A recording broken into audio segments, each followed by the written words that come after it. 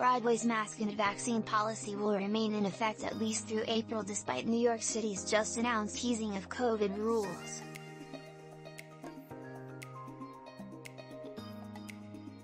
Broadway leaders will revisit the issue on April 1st for possible updates, but for now the requirements are in place through April 30th. New York City Mayor Eric Adams announced today that the COVID vaccine passports policy across New York City, which require showing proof of vaccination to enter restaurants and other indoor venues, will be lifted on Monday, March 7. The city's new policy provides considerable leeway in allowing individual industries and businesses to set their own protocols and requirements.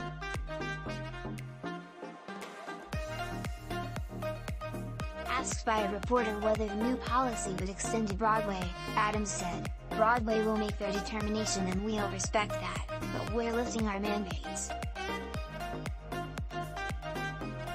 Los Angeles officially lifts indoor mask mandate, level of COVID now classified as low by CDC in a statement to Deadline, Charlotte St. Martin, president of the Broadway League representing theater owners and producers, said, Our current guidance is through April 30th and we are scheduled to update.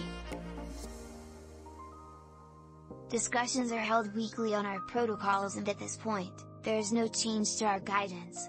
We will, of course, let you know when it changes. Broadway's latest decision to hold firm on its policy reaffirms its decision made early in February when New York State eased up on statewide mask mandates.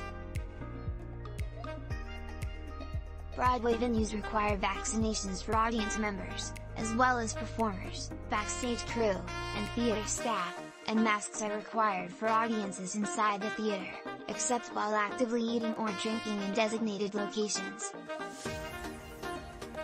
Broadway's most recent box office figures suggest that the mask and vax requirement is not proving detrimental to the industry overall.